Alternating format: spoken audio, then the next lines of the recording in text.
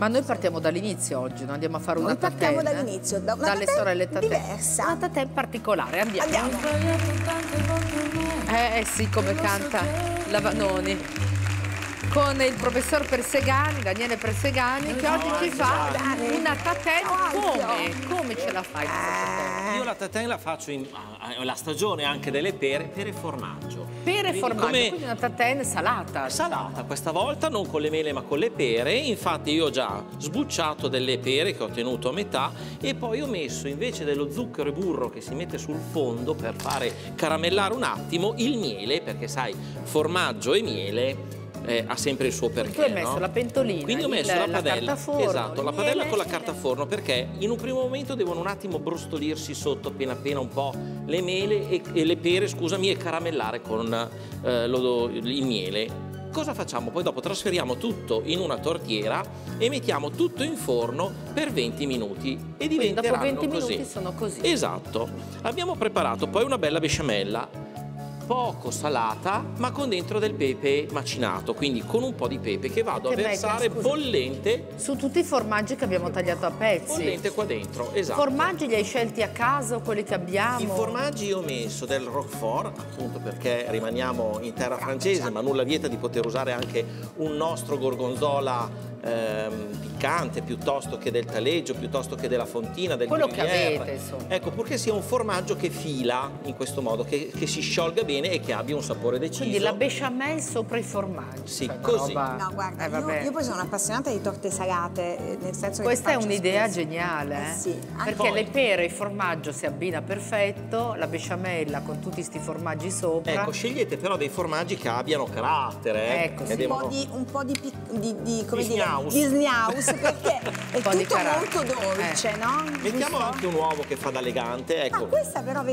Vedi? Come fai Prima, l'uovo? prima la besciamella e poi abbassiamo un attimo la temperatura, se no l'uovo straccerebbe, grazie Angela, e poi sciogliamo tutto insieme perché ehm, Cosa fa l'uovo? fa da elegante. Se, fa- se fosse solo besciamella con i formaggi, poi quando la tagliamo c'è il rischio che insomma la fetta cada un attimino. perché deve Invece- un po' fare l'effetto proprio torta salata. in Brava, esattamente, ok. un po'- Quindi come una, come una quiche.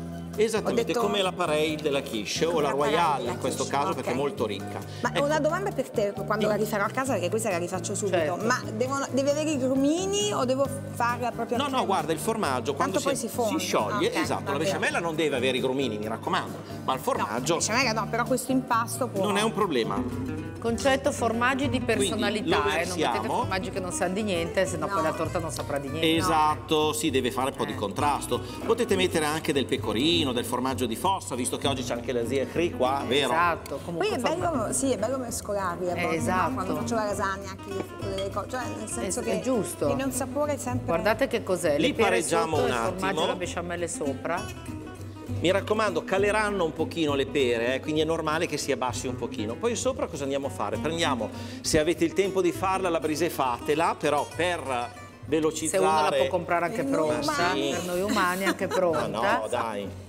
E questa è la caratteristica, cioè la, la, la tatene, proprio questa, no? che noi la Sì. mettiamo so- sopra. Allora, piccolo consiglio, quando mettete la brisée, fatela entrare e non tagliatela a filo proprio perché in cottura tenderà a restringersi un attimino, se no poi avete la coperta corta e c'è il rischio che Quindi la rotoliamo un po' così. la arrotolate un po' così qua attorno. Tanto poi, voglio dire, quello che... Ce lo mangia. Eh, Cioè, esatto. Ma perché buttare il bordo che è buonissimo? Esatto. Il croccantino.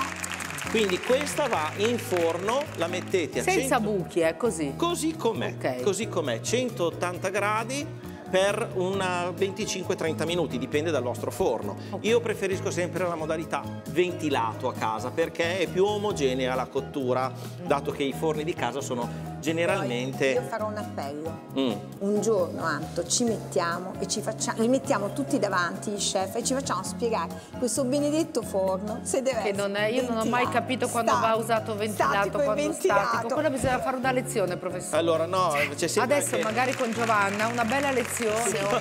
La perché no, perché eh?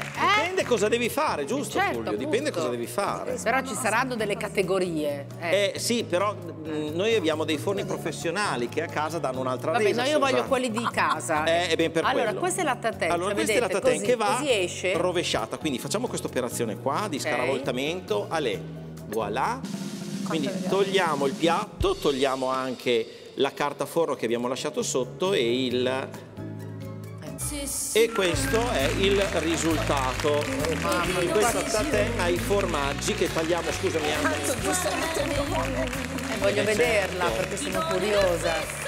Quindi sotto c'è la brisée che la farà la, brisée. base di questa besciamella con i formaggi e La le pera e il Eh. formaggio che è questo qua. Cioè, capisci? E io No, ma voi capisco, capite?